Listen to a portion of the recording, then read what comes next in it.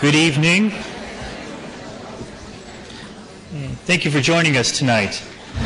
My name is John Fleiter, and I serve on the Lou Douglas Lecture Series Committee. On behalf of the committee, I'd like to welcome you to the final Lou Douglas Lecture of the fall 2001 semester. The Lou Douglas Lecture Series on Public Issues is sponsored by the UFM Community Learning Center, founded to honor the memory of distinguished Professor of Political Science Lou Douglas. The series deals with topics pertaining to human rights, social justice, world peace, and international development. The Fall 2001 series is dedicated to Mary Douglas, widow of Professor Douglas. Mrs. Douglas was a teacher, community activist, and a patron of this series for many years. She passed away last December. Our speaker tonight is Dr. Steffie Woolhandler. Dr. Woolhandler is an associate professor of medicine at Harvard University. She is also co-founder of the Physicians for National Health Program an organization which advocates a single-payer system of national health insurance in the United States. That will be the focus of her lecture tonight. Dr. Woolhandler will be introduced by Linda Teener, who is the Executive Director of the UFM Community Learning Center and also a member of the Lou Douglas Lecture Series Committee. Uh, this lecture series is a community effort. Our thanks go out to President Wefald, Provost Coffman, various university colleges and departments, Student Government Association, faculty members, and many local citizens whose contributions support the series. Uh, special thanks to all those members of the Manhattan Alliance for Peace and Justice who wrote letters to the editor of the Manhattan Mercury uh, discussing the need for national health care program, national health insurance program. After the lecture, there will be a question and answer period. We encourage you to stay and participate for the question session. And there are also some books available for purchase in the lobby. Thank you.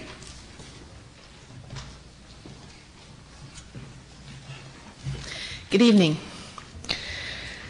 Tonight's Lou Douglas lecture is about health insurance. And you know, if you're young, if you're healthy, um, if you have health insurance coverage, you don't think a lot about health insurance.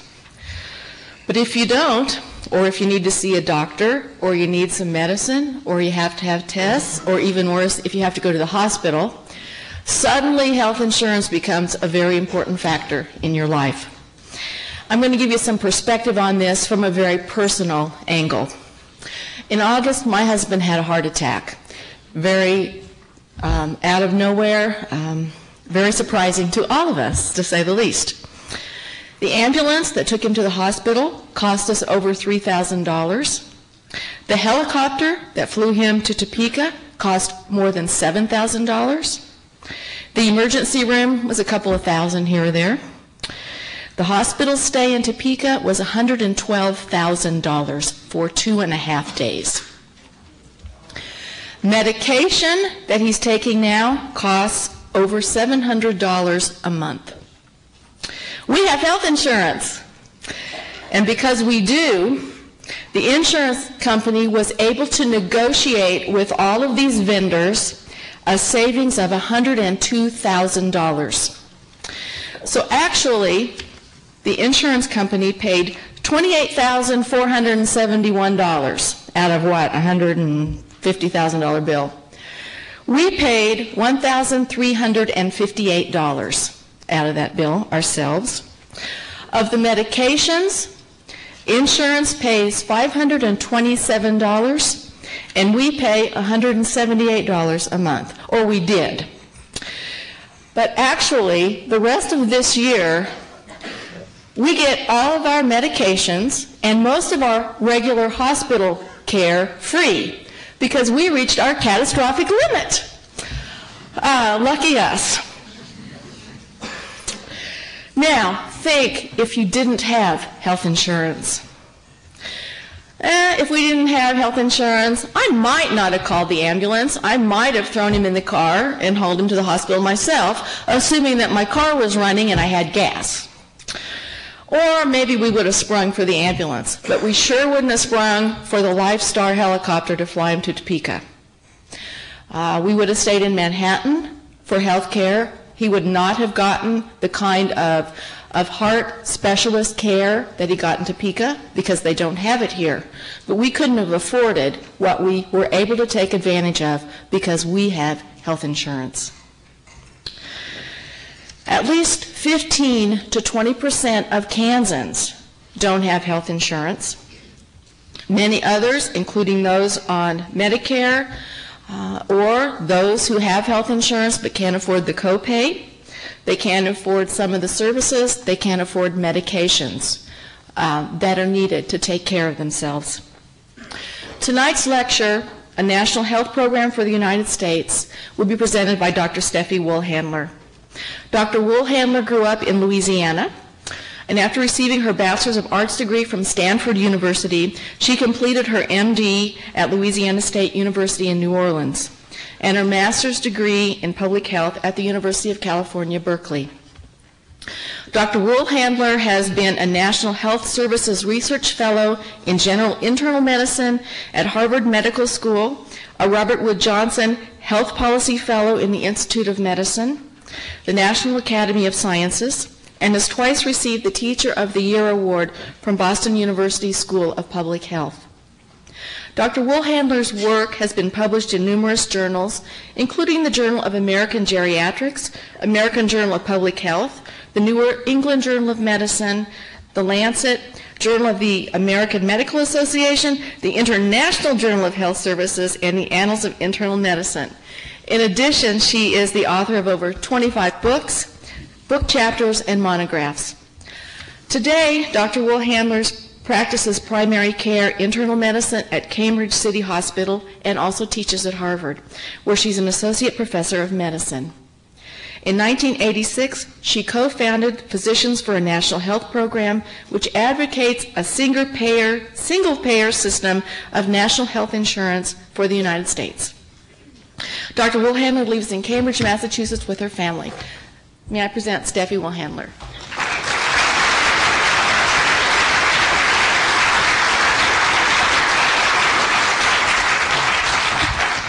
Uh, well, gee, Linda, I want to thank you for that long introduction, but it did remind me a little bit about the old story about Eleanor Roosevelt, who apparently hated long, flowery introductions, um, and actually told people introducing her to, you know, keep it short. So uh, one woman introduced her and said, "This is Eleanor Roosevelt, and the less said about her, the better."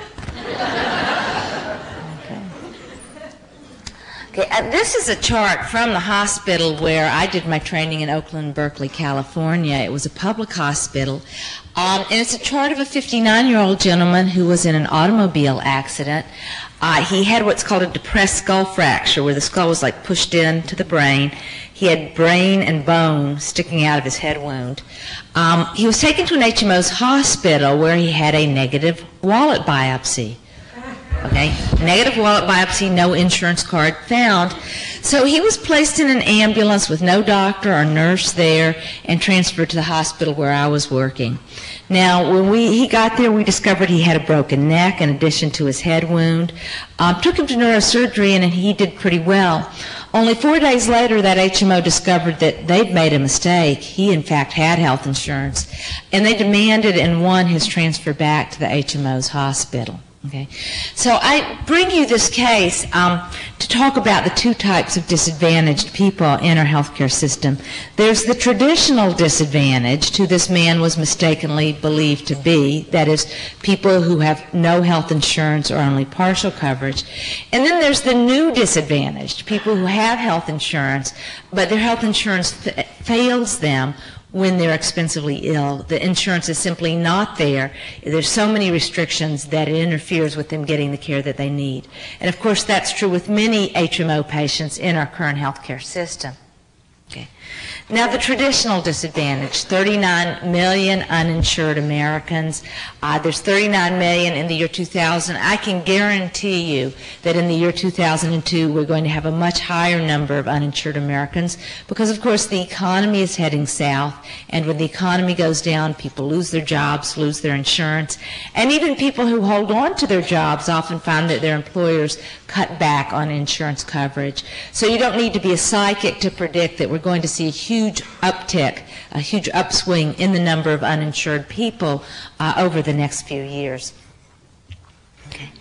Um, I can also guarantee you that the healthcare policy debate is going to be reopening. It's been relatively quiescent since the early 90s, um, and I can guarantee it's about to reopen. Is that, am I saying that because the number of uninsured is going up? Well, not really. Uh, the thing that's going to be driving debate is going to be the issue of healthcare costs. Uh, in the early 90s, healthcare costs were going up rather rapidly. We had a big debate about healthcare reform. In the mid 1990s, in fact, healthcare costs were relatively level. Corporate America was pretty happy with the situation and wasn't very interested in healthcare debate. But as we enter the year 2002, healthcare costs are really on the upswing, um, and it's projected that we will have double digit increases uh, in 2001, 2002. So because healthcare costs are going up at the same time that we anticipate a rise in the number of uninsured, I can tell you that health policy reform debate will be reopening in the next few months. But let's get back to talking about the issue of the uninsured. Uh, young adults, 18 to 24, that's most of the people in the audience, you are the folks with the highest rates of uninsurance. 27% of people in your age group have no health insurance. Uh, and, but virtually every age group except the over 65 uh, does have a substantial percentage who have no health insurance. Of course, people over the age of 65 are virtually all eligible for the Medicare program. But it would be a mistake to look at statistics like this and say, gee, everybody who, has, who lacks health insurance is healthy. Why worry about people? You know, it's, it's just a bunch of young adults who don't have health problems. That would be a mistake because when we look at people with serious illnesses, we find substantial numbers of them have no health insurance. So, for instance, there's three quarters of a million people in this country who have diabetes and have no health insurance. Okay.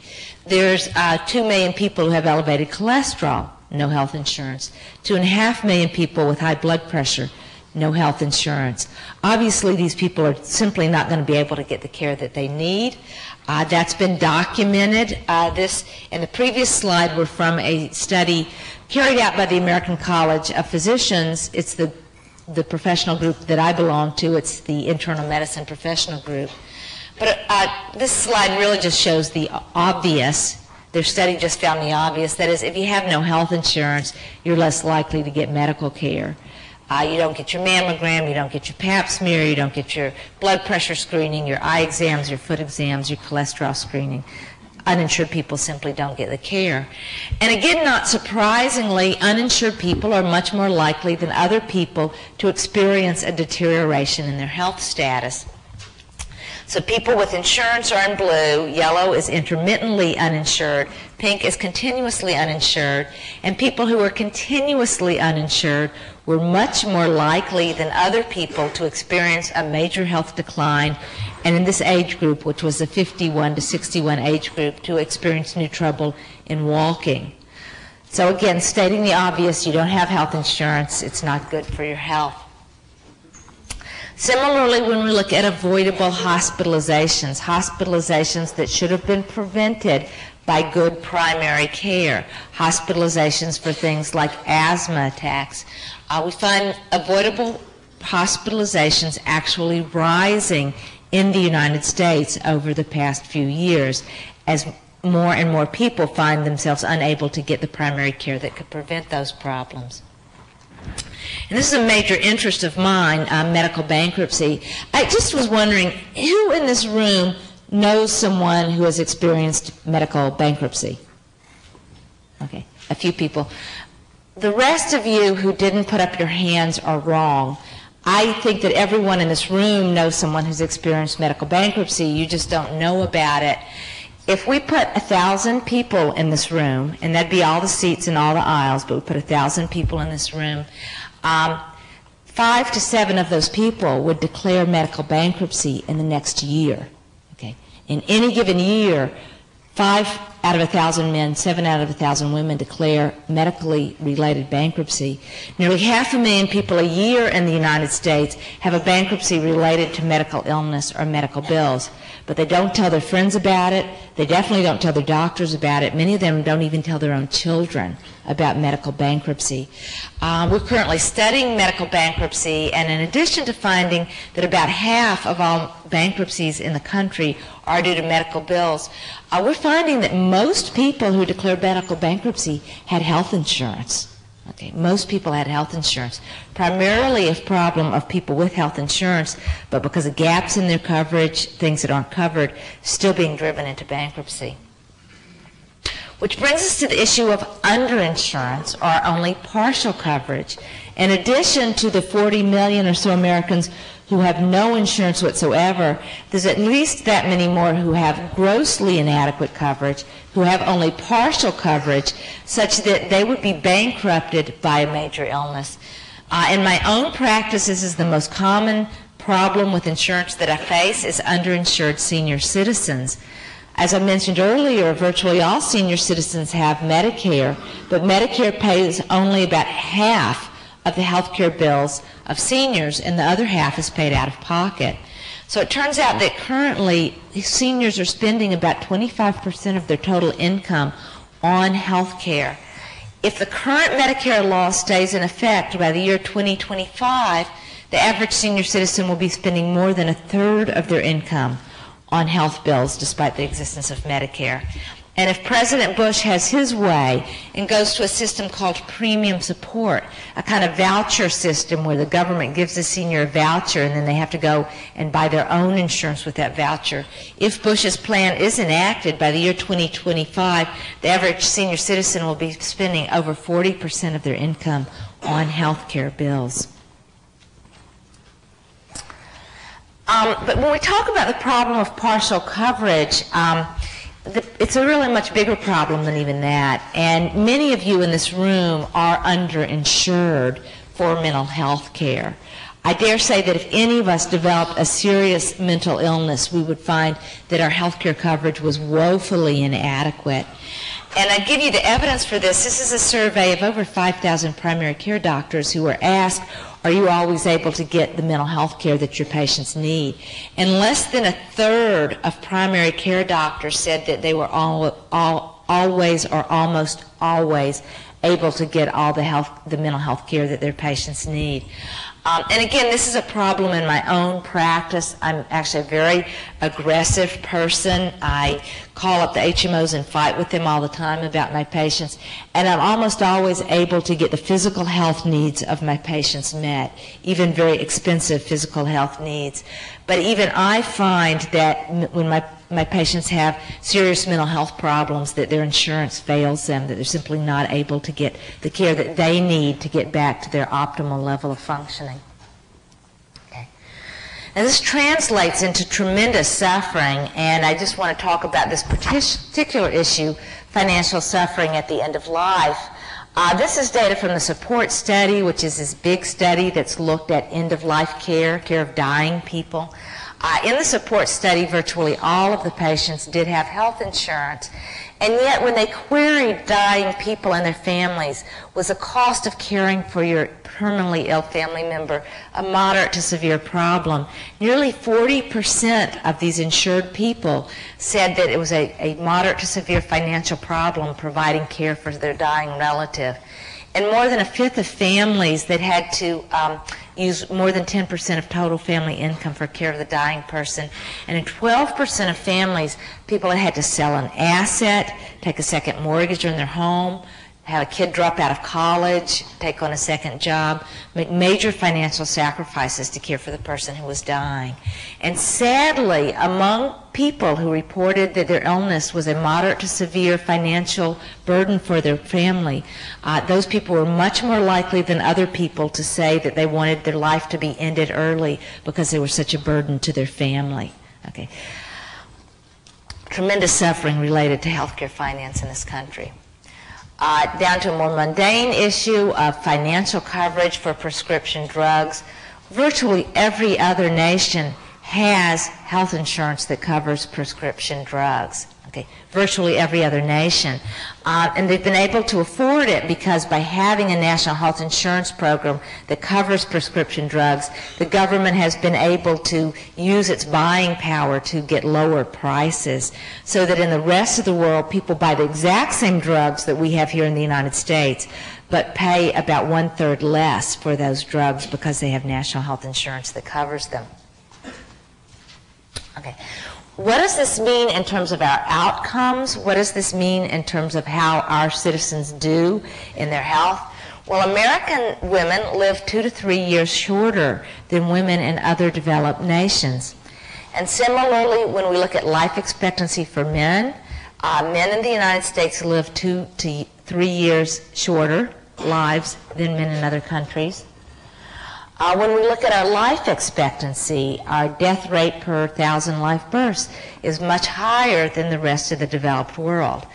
Now, how bad is an infant mortality rate of 7 per thousand? How does that really compare to the rest of the world? Well, this is just how bad it is. Because in this slide, I've taken the Canadian infant mortality rate and divided it by income quintiles so that the wealthiest fifth of the population is over here on the left and the poorest fifth of the population is there in blue on the right. And it turns out that the average infant mortality rate in the United States is higher than the infant mortality rate for the poorest quintile of people in Canada. Okay, that's how bad infant mortality statistics are. When you query Americans about difficulty getting the care that they need, Americans are the most likely of any English speaking country to say they have problems getting needed care. And that's not a, a mistake. 28% of the American people find that it's extremely difficult, extremely very or somewhat difficult to get care when they need it. Okay. Um, it's uh, common to say in the United States that we have the world's greatest healthcare system. Perhaps that's true, but I think it's also true to say that we have the world's worst healthcare finance system. Uh, in no other system is a finance system so much of an impediment to care. Um, and I, I, teach at Harvard Medical School, and I spend a lot of my time with medical students. Uh, and I tell them that you're going to learn lots of wonderful things you're going to be able to do for your patients, lots of ways that you can help your patients, and you're also going to learn that the financing system is going to block you. Uh, constantly be blocking you from doing the wonderful things that you can do to help people. And that's really what this slide means. Now, this would be perhaps justifiable if we had this terrific scientific enterprise that was unparalleled, and certainly the pharmaceutical industry would like us to believe that the level of science in the United States is in some ways unique. Yet, when you look at our scientific output on a per capita basis, we're really middle of the pack. This is looking at medical journal, journal articles per capita, uh, with the U.S. really middle of the pack or worse when it comes to medical journal output on a per capita basis. Slightly different database, scientific articles per capita, and again, the United States is down toward the bottom of the developed world. So we can't justify the healthcare system that we have on the basis of scientific output if we look at that issue objectively. Now, what's going on here? Where are healthcare dollars going, and why is the financing system so corrupt? Um, and to talk about that, we're going to have to talk about the business aspect of healthcare. We're going to have to talk about the economic aspect of healthcare. I actually have a degree in economics, and uh, my friends, when they really want to tease me, make the joke that an economist is someone who didn't have the personality to become an accountant. But we're going to have to have a lot of numbers here and a lot of economics because in order to understand where healthcare is going in this uh, in this day and age, you have to understand the extent to which healthcare in the United States is being run as a business, and that's fundamentally what's wrong with the healthcare financing system, and fundamentally what's blocking us from getting universal health care. But in this graph, I've graphed the, num- the growth in the number of physicians over the last few decades against the growth in the number of health administrators. And again, that's not a mistake on that y-axis. That's 2,500% increase in the number of administrators. Okay. Healthcare is increasingly becoming a spectator sport uh, where a tremendous amount of money is being taken up with case management, utilization, utilization reviewers, billing supervisors, insurance companies, discharge planners, a whole raft of paper pushers and administrators crowding out the doctors and nurses and physical therapists and home health aides who can actually provide the care to the patients. I've been studying the issue of administrative costs in medicine for more than a decade, um, and lest you think that the computers and the internet would make the problem of excessive paperwork in the healthcare system go away, I ran across this um, actually just a couple weeks ago. Uh, it was a study that I was looking at for another reason, and this was just in the methods section of the study where they were trying to look up the insurance coverage of 2,200 depressed people in Seattle. And to look it up, they had to look up 755 in different insurance plans for only 2,000 people. Obviously, a huge amount of complexity, redundancy, paperwork, huge amount of cost taken up in running a system on this basis. Now, the paperwork is a direct outgrowth of running healthcare as a business. Other nations do not run healthcare as a business, but the United States increasingly does. Currently, nearly two-thirds of our HMOs are run on an investor-owned for-profit basis. Only about 11% of our general hospitals, the place you'd go with your heart attack, uh, but a much higher proportion of our psychiatric hospitals, nursing homes, home care, and dialysis are run uh, wholly as a for-profit business. Um, I want to talk first about HMOs because I'm sure you all know that there's been huge growth in managed care and HMOs in the past couple of decades. Everybody knows that. But you're probably unaware that virtually all of the growth in HMOs has been in the investor-owned for-profit sector. The nonprofit sector in yellow along the bottom has more or less held its own, but essentially all of the growth has been in the blue part of the bars, the for-profit sector. So when we talk about HMOs in the year 2001, we're not talking about some consumer cooperative concept from the 60s or 70s. We're talking about HMOs as a way in which Wall Street has attempted to turn healthcare into a, fully into a profit-making business. Okay. Now, what's the matter with that idea? I mean, I actually have some money that I've, I've, got two kids and I've invested the money for my kids' education. And, you know, when I give my money to an investment company, I want them to make money for us. I mean, that's, the, that's what you invest for. Uh, but the question is, is that really the correct ethic for healthcare? Is it really a correct ethic that the only reason you're in business is to make as much money as possible? Uh, and I would say no. Um, I think it's quite usual in a business community to think about industrial espionage, trade secrets, confidentiality agreements, because that's the way businesses run. But is it really reasonable to think of healthcare in that way? And this is actually a Time magazine article that came out several years ago after um, my husband and I uh, actually broke our gag clauses with Aetna U.S. Healthcare by publishing our contracts in the New England Journal of Medicine. And uh, there was a big brouhaha. My husband was actually fired by the HMO. Uh, he had to go on the Phil Donahue show twice, and we were in Newsweek and Time Magazine. And uh, actually, Aetna U.S. Healthcare was forced to rehire them and to temporarily rescind their gag clauses. Uh, within six months, those gag clauses were back in the contracts. And I have to tell you that I now have contracts probably with six or seven different HMOs. And every year I have to go through the contract because they're always trying to sneak gag clauses back into the contracts, even though they're illegal in the state of Massachusetts. Um, but why are there gag clauses? I mean, why would an HMO have to have doctors sign clauses promising not to talk about the HMO? Well, the dirty little secret of HMOs is you only make money taking care of healthy people. So if they get your $2,000 premium and they enroll you and you have no chronic illness, the average cost of caring for you is very low, less than a thousand bucks, and they're going to make money. But if you have even a minor illness like anxiety or arthritis, much less a serious issue like cancer or HIV, then the cost of your care is going to vastly exceed the premium amount.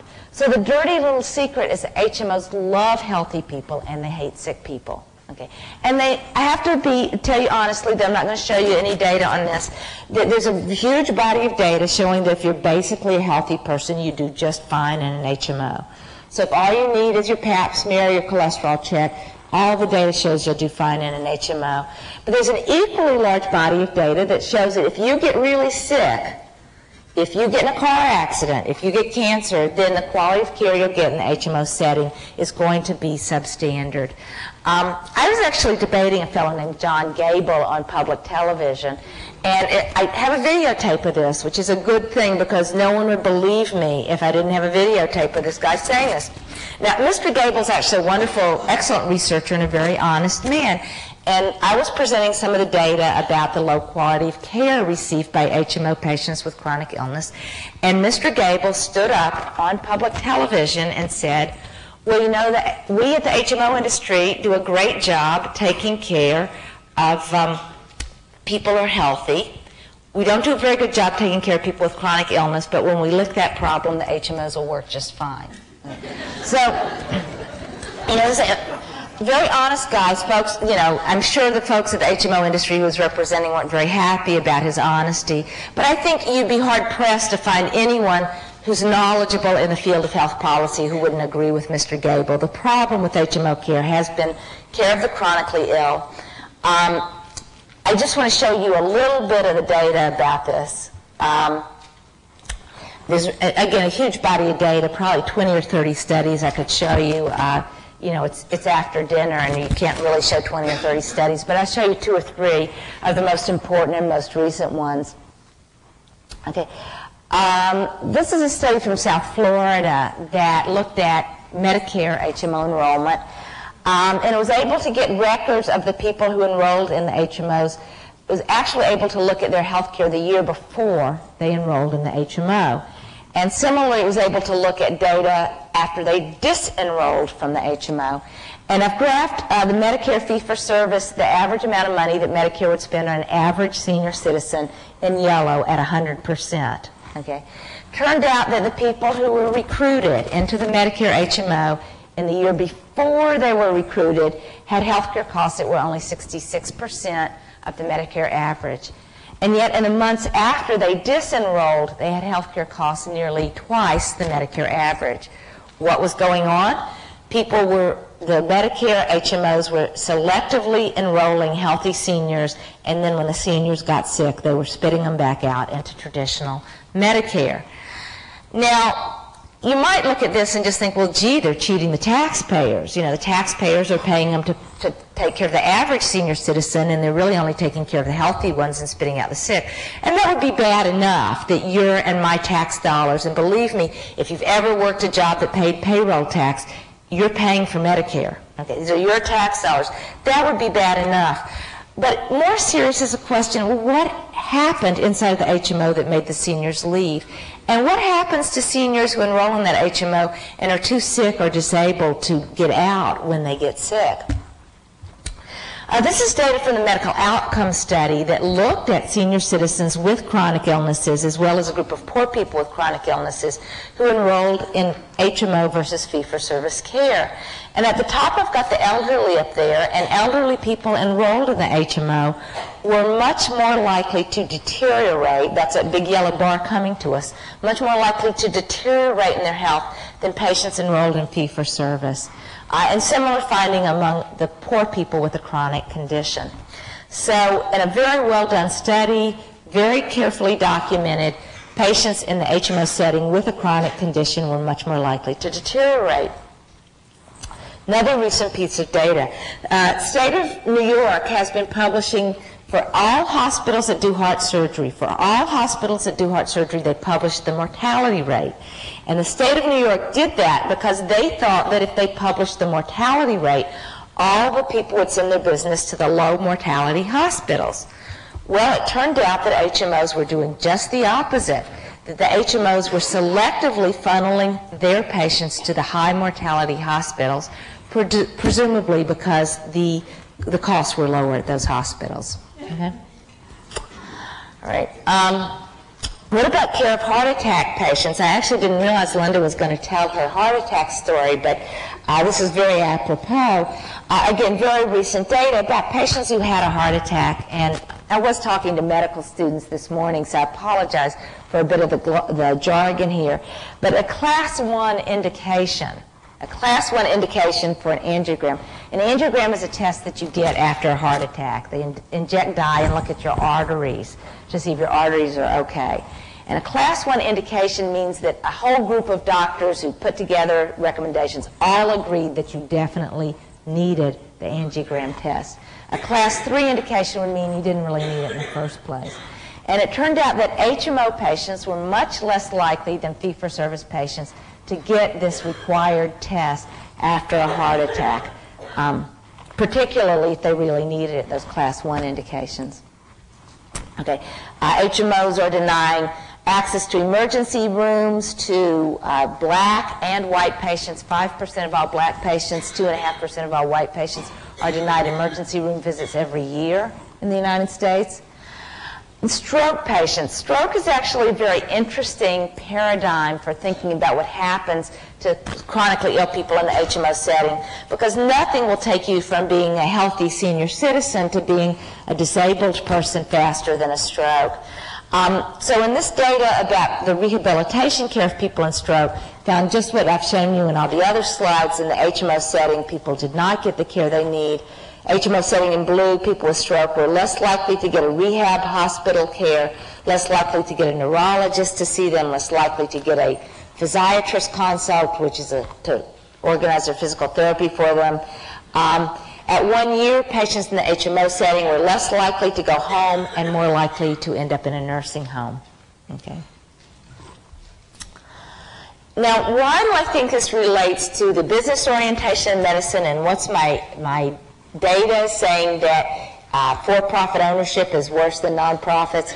This is actually data that we published in the JAMA a couple of years ago, Journal of the American Medical Association, we were able to look at the majority of American HMOs who report something called the HEDIS quality measures, uh, things like your rate of immuniz- immunizing toddlers. There's 14 different HEDIS quality measures, and it turned out that the investor-owned HMOs had lower quality scores on all 14 of the quality measures. We think that's because of the high overhead that the HMOs generate. Cigna is in fact the market leader over here on the left. It's the HMO that's expanding, that's taking over other HMOs. Uh, Cigna, in, in, the year of this uh, data, Cigna took a third of total premium dollars for overhead and profits, which meant that only 67 cents of every premium dollar was available for doctors, nurses, physical therapy, and home care. Uh, only two, you know, only 67 cents on the dollar was there for care. And I'm kind of simplistic, and I think, well, if they've spent all their money on paperwork and profits and don't have money to care for patients, that's got to affect the quality, drive the quality down. And of course, uh, a lot of that um, spending is for uh, high executive salaries. Um, you wouldn't have much time, much trouble paying off your student loans with those kinds of salaries. Okay.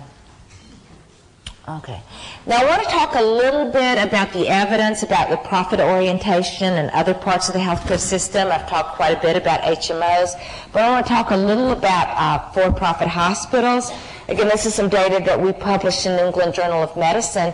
Uh, there's been two or three other studies since with the surprising finding that for-profit hospitals are actually more expensive than their nonprofit and public counterparts. Quite a bit more expensive.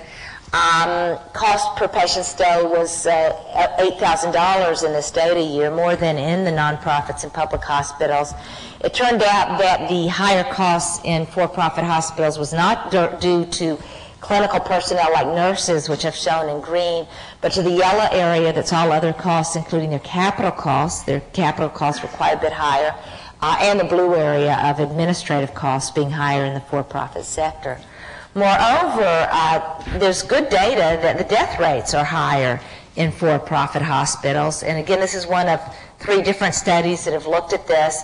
But the for-profit community hospitals have death rates about 7% higher than nonprofit community hospitals and fully 25% higher than your major teaching hospitals.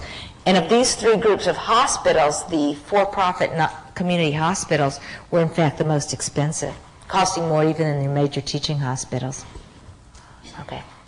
Um, just to drive home this point again, with the nursing home industry, 85% for profit, um, I'm sorry, 65% for profit.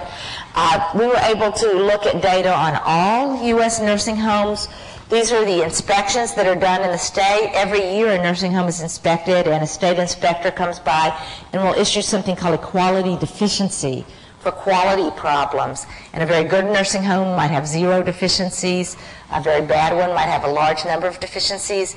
And this is not a sample. This is all U.S. nursing homes we were able to look at.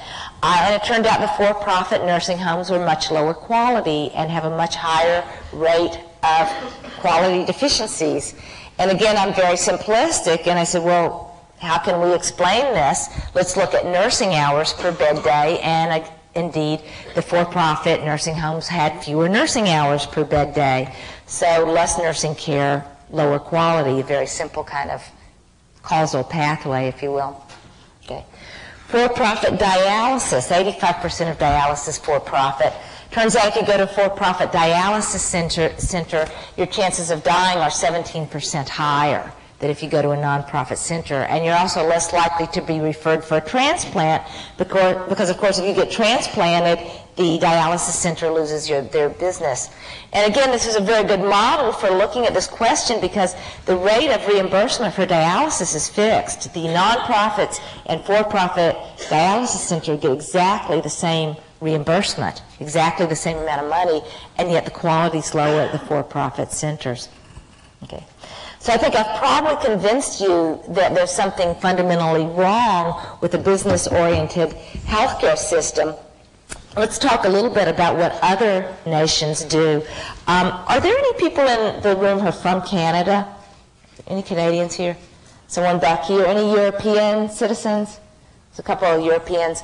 Well, you know what they do in other countries. Every other developed country has some form of national health insurance.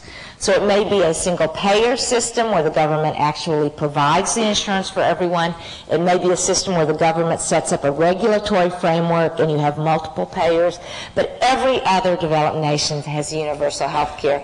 And Germany looks like they don't, but in fact, Germany says if your income's less than $100,000 a year, you have guaranteed health care. If it's more than $100,000, it's not guaranteed, but you can buy it on your, on your own. Um, so everyone else in the developed world has universal health care and a national health insurance model. And none of them, none of the other countries have relied on for-profit industry to deliver their health care. In other nations, the healthcare systems are government assured, government mandated, often uh, government administered, uh, and always run on a nonprofit basis. And I want to just remind you of the data I showed you earlier about the life expectancy, about the infant mortality, that the United States is really lagging behind the rest of the developed world in those important indicators of the quality of care. Now, you may be aware of the fact that the United States spends more than any other nation on earth on health care. Despite all that I've told you about the problems in our healthcare system, the United States is really the high roller in health care. Um, and what I've done in this slide is something you're probably not used to seeing. Um, in blue, I've graphed the total health spending in other developed nations, so the total cost, public and private, of healthcare in other developed nations. Along the bottom, I've graphed the spending in the United States. The first thing you'll notice is that United States spending is about double the average for other developed nations. But the other thing you'll notice is that I've divided health spending in the United States into public spending and private spending. And I've used a little bit of a uh, idiosyncratic definition of public spending. That is, in addition to counting direct government payments for health care like Medicaid and Medicare, I've also included the health benefit costs for government workers, because of course those are paid out of our tax dollars. And I've also included the tax subsidy for private insurance. Now, what's the tax subsidy for private insurance? Because your employee benefits that you receive through your job are, ta- are not taxed as income. There's a huge loss to the federal treasury. And while that sounds very abstract, it's actually very well recognized in tax and policy circles. And in fact, the figure for the tax subsidy to private insurance appears every year in the federal budget. It's approximately $116 billion this year, that figure from the federal budget. So I've put all of that into public spending. Um, and when you look at public spending in that way, as tax-supported spending, it turns out that public spending in the United States for health care exceeds total health spending in any other developed nation with the exception of Switzerland. So we're already, through our taxes, what we're paying in taxes now, we're already paying the full cost of a national health insurance system like they have anywhere else in the world. And then we turn around and pay privately an additional $1,400 a year in private spending in order to have this healthcare system that leaves 16% of the population with no insurance and many of the rest of us fighting with our HMOs to get the care that we've paid for. Um, now, how do we spend so much? As I've alluded to earlier, a large part of this is administrative costs, and I- have been working on administrative costs most of my professional career. Um, but updated to the year 2000, over $800 per capita per year in excess administrative costs in the U.S. healthcare system. So for every one of us sitting in this room, there's $800 spent on health administration in this country that would not be spent on healthcare paperwork if we had a national health insurance system like Canada's. Large part of the difference in health spending. Now, what would a national health program for the United States look like? I work with an organization called Physicians for a National Health Program. Um, we have over um, almost 10,000, 9,700 physician members. And we're a single issue organization. The only issue we advocate around is a nonprofit national health insurance system for the United States. And a lot of people are kind of surprised when they hear that doctors are advocating for more government involvement in health care. And in fact, the editorial writer at the Berkshire Eagle newspaper made the joke, Physicians for a National Health Program, that's a little like furriers for animal rights. Okay. Um, nonetheless, we're finding physicians are really so fed up with the healthcare system, so fed up with not being able to get the care that their patients need, that many of them are really rethinking their traditional opposition to government's role. But the type of national health program that we would advocate um, would be one that, that would cover everyone, that everyone would receive a health care card like a Social Security card that would assure care for all needed care without co-payments or deductibles. There would be complete free choice of doctor and hospital. You know, you go to Canada, you, if you're a Canadian citizen, you can go to any Canadian doctor you want. You go to Holland, you can go to any doctor you want. We're really alone in the developed world in restricting the doctors and hospitals that patients can go to. Doctors and hospitals would remain independent and nonprofit. They would negotiate their fees and budgets with the National Health Program. So instead of sending bills, hospitals would negotiate their budget and get their entire budget on a lump sum basis, one twelfth of that budget every month, wouldn't have to be sending bills. Um, there would be local planning boards to allocate expensive technology, so to decide how many MRI scanners we needed and where they should be. There'd be progressive taxes that would go into a healthcare trust fund, and progressive taxes simply means that rich people would pay more than poor people. Um, and without, it's, you can't really have much of a discussion of tax policy after dinner, but I can tell you that the current way we finance healthcare has got poor people paying about three times as much of their income for healthcare as rich people. And you would have a public agency to process and pay the bills in order to get that administrative simplification. So it would be something like the Social, Social Security Administration. Now, what's going on in other countries right now? Uh, if you've been in other countries, there's a lot of talk about privatization. Um, and in fact, part of what's going on is that the WTO and the people behind the WTO, the large hospital corporations, the large insurance corporations in the United States, have been pushing very hard to have the health systems of other nations opened up to investment by U.S. firms. And they've been pushing through the WTO and other organizations to open up the social insurance networks, the national health insurance networks in other countries.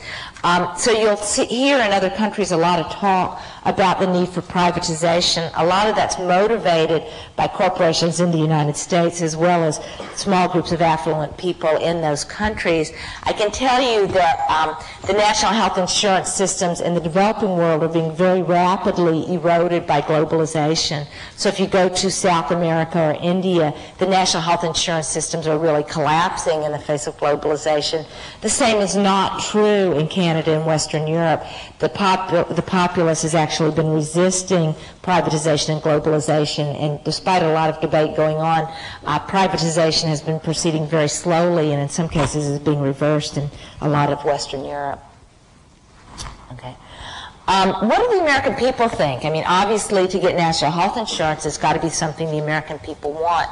It turns out a majority, really a vast majority of the American people uh, support the idea that the government should provide quality medical coverage to all adults.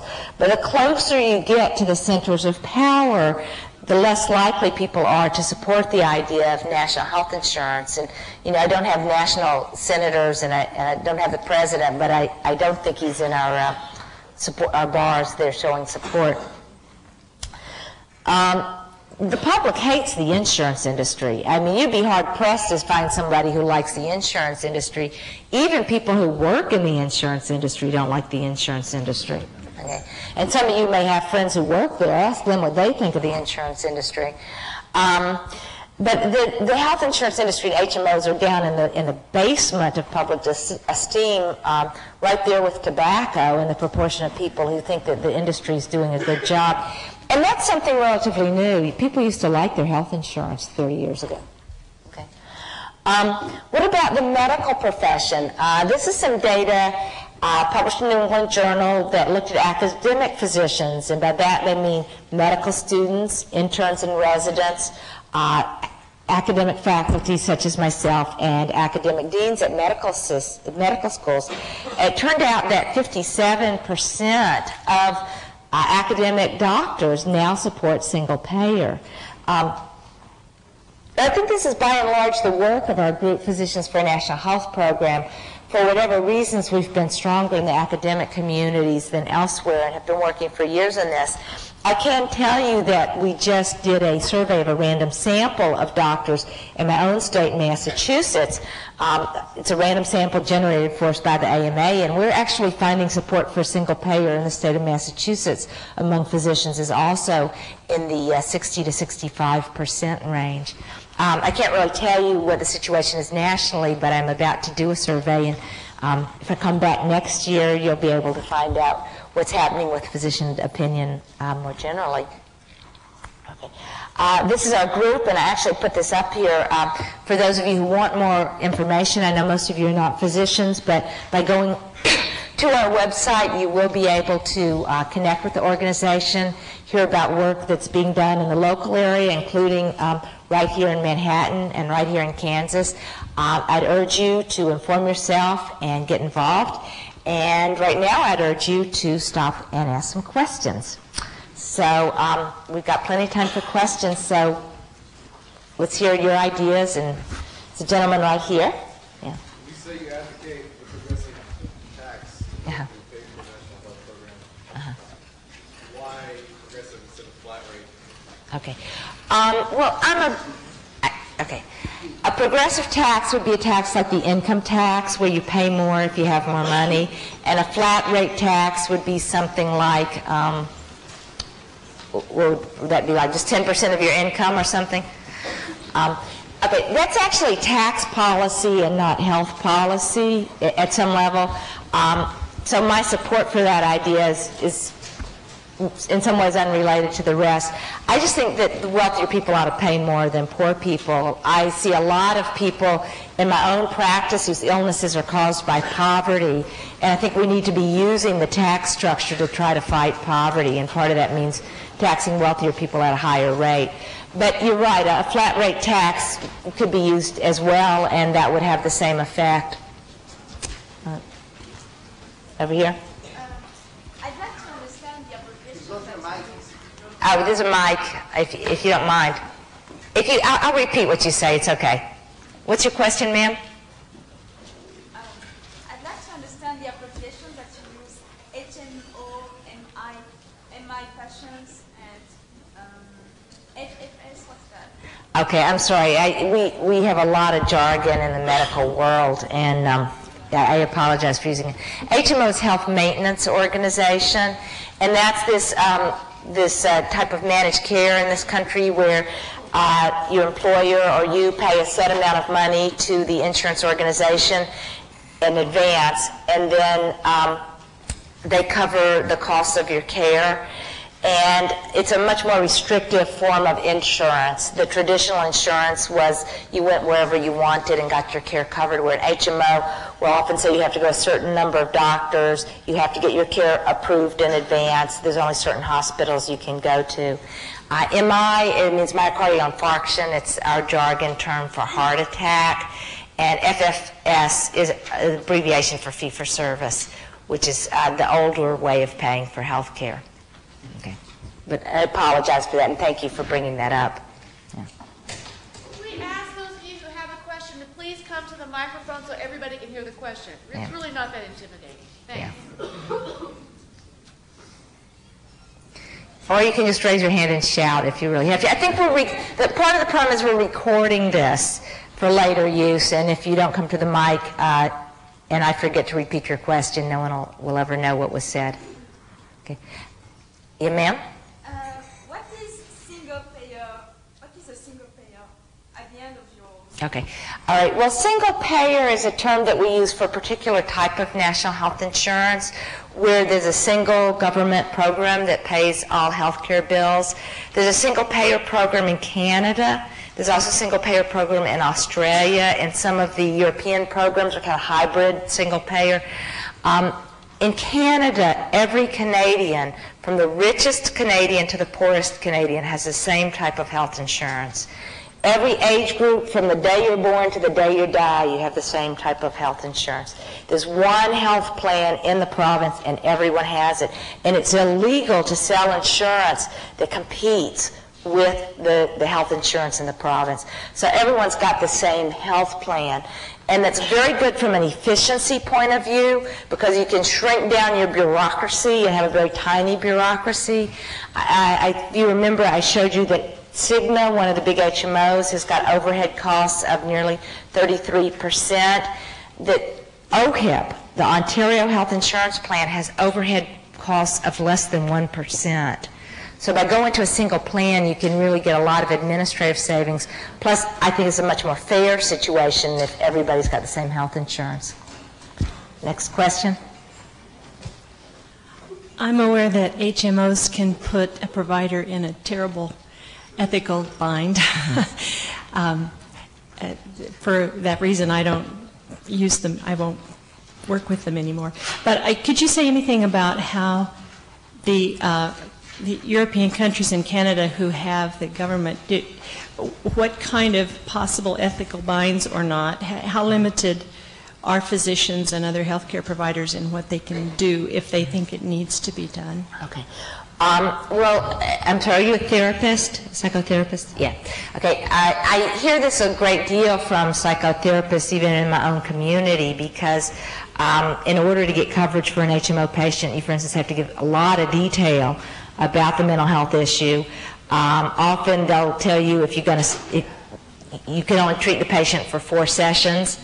Um, and you think the patient's sicker, but they tell you if you if you insist on more than four sessions, they're going to throw you off their list, and you're not going to be able to treat patients from that HMO at all. So it, it is a horrible ethical bind that you people get put into in the United States, uh, particularly when it comes to psychotherapy.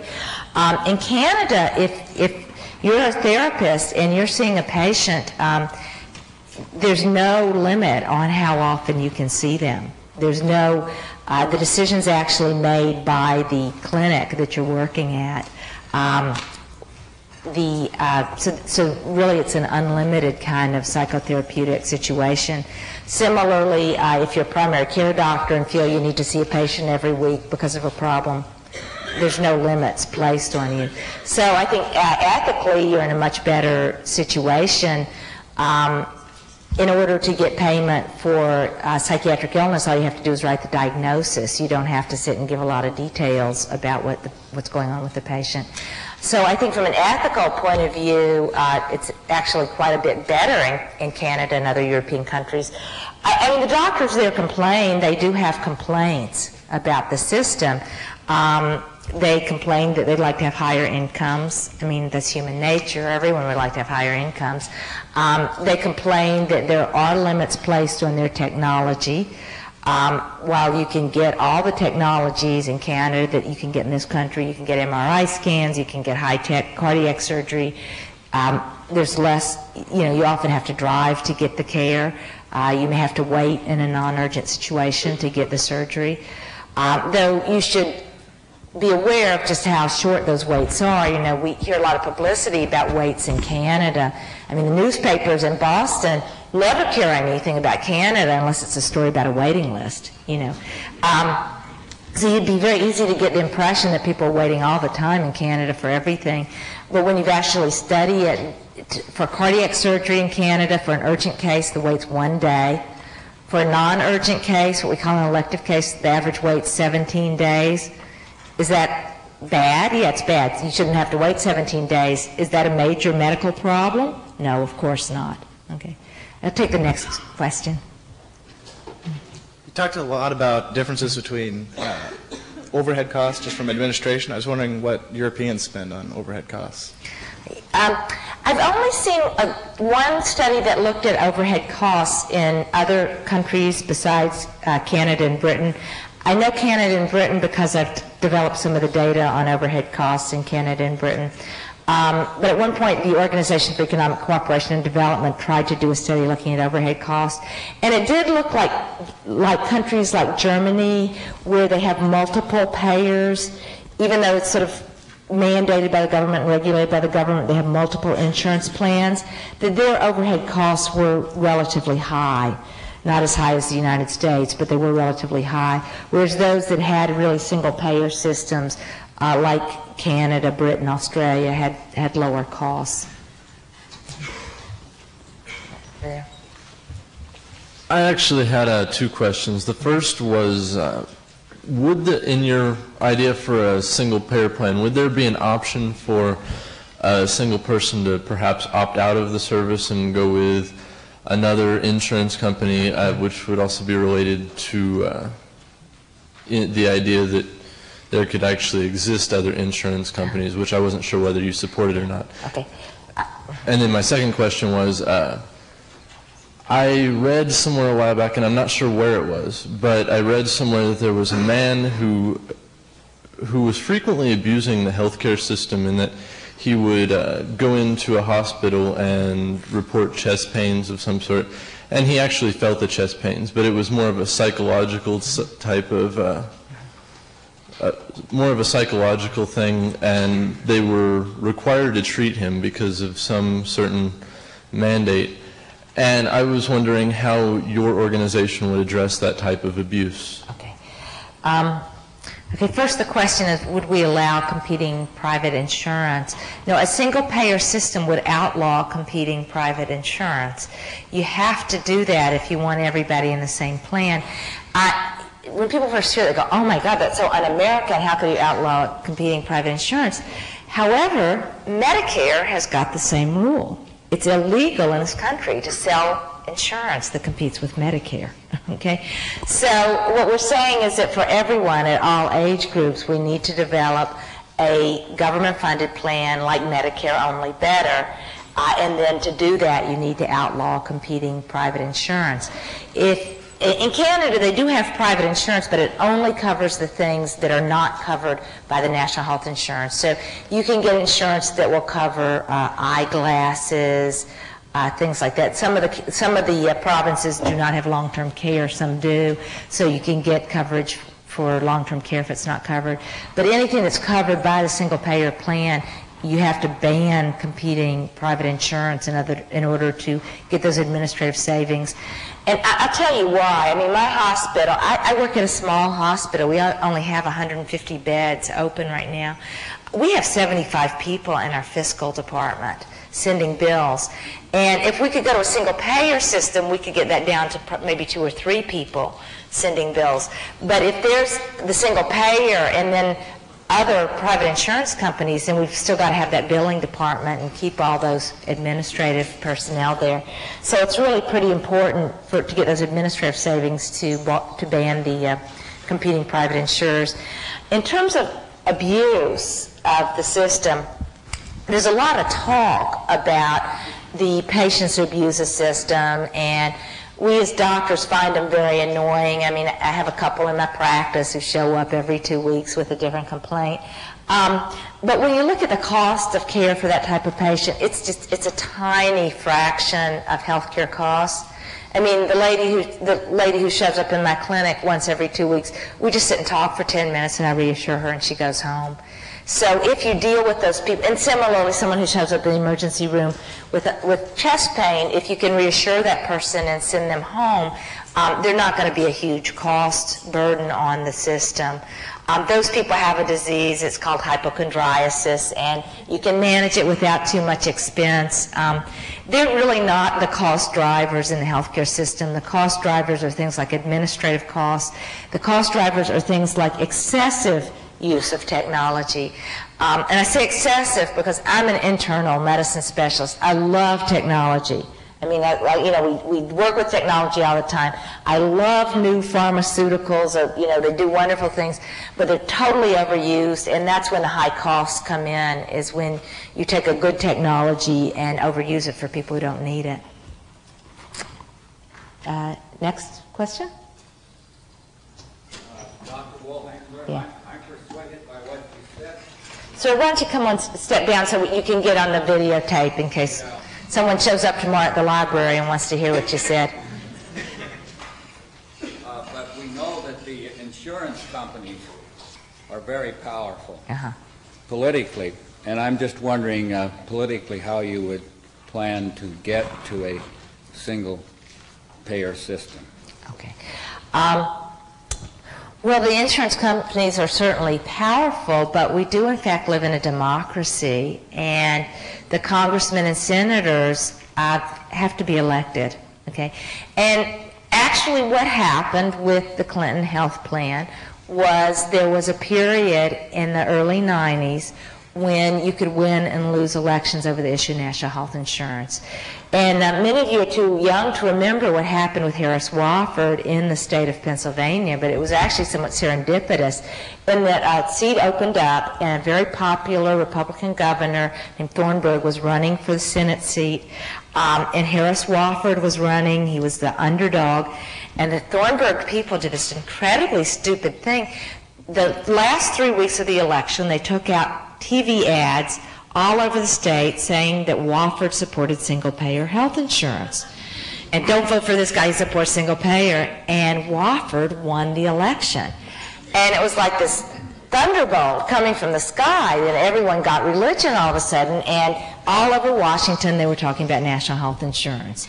And it, you know, the, the Clinton debacle kind of cooled that. But you can go from a situation where there's no discussion of national health insurance to a situation where it's everywhere on everyone's lips almost overnight if it becomes obvious to the liberal wing of the Democratic Party, and that's who's likely to become obvious to, that you can win or lose elections on that basis. So things can change very quickly. Um, I think we are going to see a reemergence of this issue because people will be losing their jobs, losing their health insurance. Even people who have steady, jobs, like myself, we're going to be getting a lot of pressure from our employers as they attempt to cut back their contribution to health insurance. This issue is going to emerge again in the next few years, and we need to be ready with the citizens' movement to uh, assert the need for national health insurance. First, a comment about um, the German system, which opposes, I think, what you said about the not having um, conflicting or alternatives is that I think the German system has the public health insurance, but people that don't want to buy or what or don't that aren't offered that can buy their own private insurance, as you alluded. And then there's a complaint within that system that um, those that do get the private insurance get better care and can select than the than the non-private health insurance. But then my question is, I I, I come up against a lot of um, criticisms by physicians primarily, I'm wondering how you feel about this, that, um, you know, we don't want a system like Medicare. Medicare, it, you know, reimburses poorly. We have to fight with them all the time. Um, and they, you call the, the central agency, you always talk to somebody different, you don't get a straight answer, they tell you different things. How, would, how could we improve upon the Medicare system and convince the physicians in general that it could in fact work? Okay. Um, well, I think what you're saying about Germany is generally true. Germany, I, tend not to talk about a German model very much because uh, the reason is that they have an institutional basis for healthcare system in Germany that we don't have. That is, most of the insurance is run, organized around something called sickness funds, and sickness funds are jointly managed by the employers and the unions. And most people get their health care through a sickness fund. Now, why wouldn't that work in the United States? Because most American workers are not unionized. So this sort of quasi-public joint employer union way of organizing things is not really viable in the United States. But I think you are you are correct and that there's a bunch of different types of insurance plans, and particularly the small proportion of people who buy private insurance, it reimburses the doctors a little bit more, and presumably the reason they buy it is they think they're going to get a little bit better. Okay, uh, not an ideal system. Even if it were ideal, we don't have the institutional basis here uh, that would allow us to do this. Uh, the second part of your question had to do with the Medicare program. The Medicare program is far from perfect. Um, the biggest problem with it, from my point of view, is it doesn't cover enough so that senior citizens have Medicare. They take a big sigh of relief when they turn 65. Whew, I got Medicare. Finally, I've got insurance. And then they find there's so much stuff that their Medicare just doesn't cover. And as you saw at the end of life care, most of those people at the end of life uh, did have Medicare uh, lots of things aren't covered, and you can end up with a lot of financial hardship. So that's my biggest problem with it. I know a lot of physicians complain about Medicare regulations.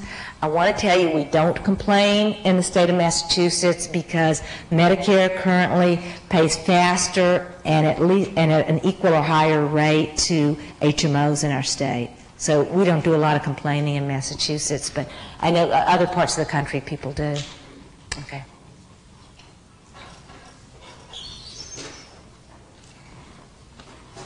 I have another question. Uh, the Catholic Church has a lot of hospitals in America. How would a single payer system work with offering different types of care that Catholic hospitals do not offer? Okay. Um, well, Catholic uh, church-run hospitals could continue to be church-run hospitals in a national health insurance system. Um, you, we, we would not allow for-profit hospitals, and we basically force the for-profit hospitals to convert back to nonprofit status. Many of them were nonprofit up until recently and converted to for-profit, and we forced them to convert back.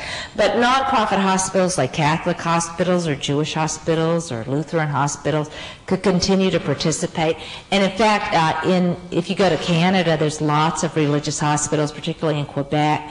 Um, they can still have the nuns or the rabbis or whatever, you know, whatever they have that makes them special for the patients who go to religious hospitals. But the hospital would get their entire budget from the National Health Insurance System on a lump sum basis.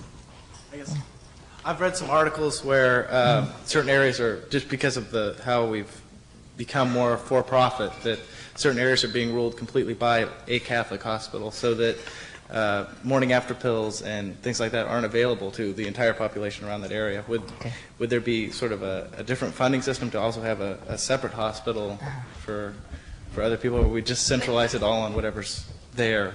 And Okay, well, um, you're getting around to, you know, what is actually a drawback in having a national health insurance system, which is you kind of politicize some of these decisions. Um, but my guess about what would happen realistically is that the Catholic hospitals would continue to do what they do, which is not provide abortion services, for instance, and the other hospitals would continue to do what they do, which is to provide them very quietly so as to avoid having Molotov cocktails and gunshots come through their windows. Um, but that's my guess about what would happen. Follow up on the question he just uh, asked you prior to that. when you said that you would force the for-profit institutions to go back to nonprofit. Right. What are you going to do with the standalone surgery centers, the many, many standalone dialysis centers, the many, many, many standalone open MRI scanners? Is the government going to go around and buy these private investors out? For dollar for dollar at the profits that they're making? Some of those centers are making 400% profit versus if it was being run by a non-profit organization. How are you going to take care of those kind of people? Um, well, uh, certainly you can transform a for-profit hospital back to nonprofit status. Over the last five years, 75 hospitals in the United States have gone from being for-profit to being nonprofit or public. Okay, so that happens all the time. That's not that big a deal. And there's ways you figure out how to reimburse people. You don't, you reimburse them based on the money that they put in. You don't reimburse them based on some uh, 400% rate of profit that they can project. And there's a whole, you know, fair way of doing that. The government does have to take private property from time to time. For instance, when the Tennessee Valley Authority was set up, in the Tennessee Valley, they bought out 35 um, private electric companies in order to do the Tennessee Valley Authority. You can't seize someone's property and not reimburse them, but you reimburse them based on the money they put in and not based on some theoretical extravagant rate of profit. So it, it would be a big transition, but we do know how to do this legally, we know how to do it financially, it's not impossible. Linda, yeah. I think I'm going to cut the questions off now. Uh, Thank you all for coming very much, and you are all invited to come upstairs to the Sunflower Room for a reception where you can consider, continue your conversations with Steffie. Thanks so much for being here.